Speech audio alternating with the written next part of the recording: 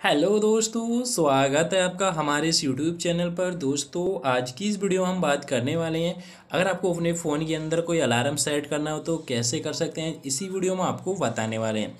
अगर आपके पास वीवो का कोई भी फ़ोन है, उसमें आपको अलार्म सेट करना हो तो कैसे करेंगे, इसी वीडियो में आपको बताने वाले हैं। तो सिंपली आपको अपने फ़ोन के अंदर एक ऑप्शन मिल जाता है, क्लॉक नाम से सिंपली आप इसे ओपन कर लेंगे।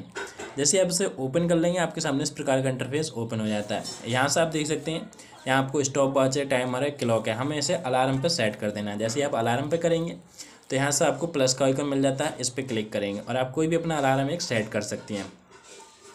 जैसे यहाँ से हम अपना अलार्म सेट कर देंगे यहाँ तेरह दिखा रहा है ये। तेरह की देखिए हम इसे कर देते हैं ओके चार बजे। अब इसको आपको मिनट सेट कर सकते हैं, जो भी आपको करने हैं, साढ़े चार। ओके यहाँ से आपको ऑप्शन तक मिल जाता है। इस प्रकार से आपको अलार्म रिपीट मिल जाता है। सिंपली आपको रिपीट क्या बार बजाना है? बंस बनाना है या एवरी डे तो सिर्फ़ हम इसे एक ही बार एक दिन बजाना है हमें। अलार्म साउंड मिल जाता है, जिसे आप अपने हिसाब से सेट कर सकते हैं। बेवरेट मिल जाती है लेवल मिल जाती है, जिसमें आप अपने इसका नाम दे सकते हैं। ओके यहाँ से आपको इस प्रकार इस प्रकार की देखने को मिल जाती है। अगर आपको वॉच में करनी है तो यहाँ से आप इसे इस प्रकार से सेट कर सकते हैं। ओके इसे हम कर देंगे यहाँ से सेट यहाँ से आप देख सकते हैं टुमारो कल का हमारा ये अलार्म सेट हो चुका है। इस प्रकार से अपने फ़ोन के अंदर अलार्म सेट कर सकते हैं।